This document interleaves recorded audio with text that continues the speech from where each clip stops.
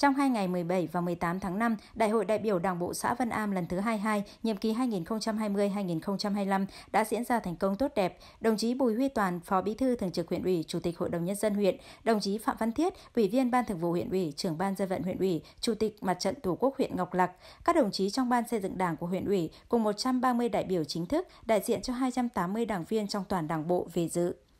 Với sự quyết tâm cao của toàn Đảng bộ, sự đồng thuận đoàn kết của nhân dân, trong nhiệm kỳ 2015-2020, Đảng bộ xã Vân Am đã thực hiện đạt và vượt 20 trên 24 chỉ tiêu nghị quyết đại hội lần thứ 21 đề ra. Giai đoạn 2015-2020, kinh tế tăng trưởng khá, cơ cấu kinh tế chuyển dịch tích cực, kết cấu hạ tầng kinh tế xã hội được quan tâm đầu tư. Tốc độ tăng trưởng kinh tế bình quân giai đoạn này đạt 4,5%, Tỷ trọng trong nông nghiệp giảm từ 59,5 xuống còn 54,4%. Ngành dịch vụ thương mại vượt 0,5% so với kế hoạch. Ngành tiêu thụ công nghiệp xây dựng đạt 14,7%, tăng 4,6% so với năm 2015. Thu nhập bình quân đầu người đạt 26,3 triệu đồng trên một năm, vượt so với nghị quyết đề ra, giảm tỷ lệ hộ nghèo còn 7,56%.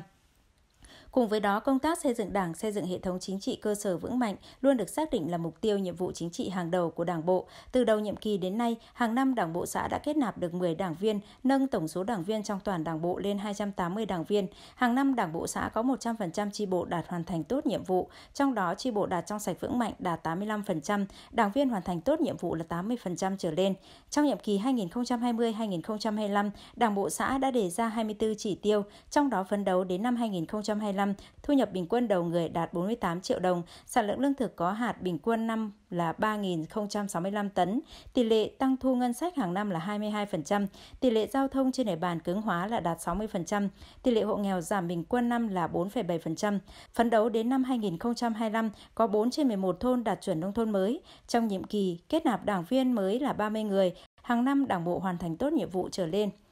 Về dự và phát biểu tại đại hội, đồng chí Phó Bí thư Thường trực, Chủ tịch Hội đồng Nhân dân huyện Bùi Huy Toàn đã ghi nhận những kết quả đạt được của Đảng bộ xã Văn Am trong nhiệm kỳ vừa qua. Đồng thời đồng chí cũng định hướng một số nhiệm vụ trọng tâm mà xã Văn Am cần thực hiện trong nhiệm kỳ mới. Tại đại hội lần này, tôi xin nhấn mạnh một số nhiệm vụ trọng tâm sau. Đảng bộ xã phải tập trung dồn sức lãnh đạo, chỉ đạo công tác xây dựng đảng, tiếp tục đổi mới nội dung phương thức lãnh đạo, nâng cao sức chiến đấu của tổ chức đảng, xây dựng tổ chức cơ sở đảng phải kết hợp chặt chẽ với xây dựng chính quyền, mặt trận tổ quốc, các đoàn thể chính trị xã hội vững mạnh và nâng cao chất lượng đội ngũ cán bộ, đảng viên. Tiếp tục thực hiện tốt quy chế dân chủ cơ sở, chỉ đạo tổ chức tốt các phong trào thi đua yêu nước gắn với thực hiện nhiệm vụ chính trị của địa phương, tiếp tục đẩy mạnh thực hiện nghị quyết Trung ương 4 khóa 11 và khóa 12 về tăng cường xây dựng chỉnh đốn đảng, ngăn chặn, đẩy lùi suy thoái về tư tưởng chính trị, đạo đức lối sống, những biểu hiện từ diễn biến từ chuyển hóa trong nội bộ, gắn với việc học tập và làm theo tư tưởng, đạo đức, phong cách Hồ Chí Minh. Tăng cường công tác kiểm tra, giám sát kỷ luật đảng, kỷ luật công chức theo đúng quy định của đảng và pháp luật của nhà nước. Ủy ban mặt trận tổ quốc, các đoàn thể chính trị xã hội cần tiếp tục đổi mới nội dung hình thức hoạt động theo hướng ngắn gọn cụ thể và rõ ràng